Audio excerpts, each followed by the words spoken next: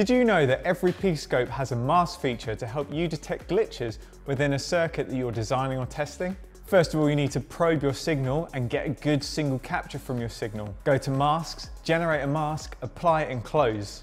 Now every time there's a glitch in your signal, the PicoScope software will show you the glitch. If you want to do something with that signal, go to Actions and set your event to Mask Fail and add an action, such as stopping the capture and saving the data to a data format whenever a glitch is found. Boom, you're now detecting errors and glitches in your circuit.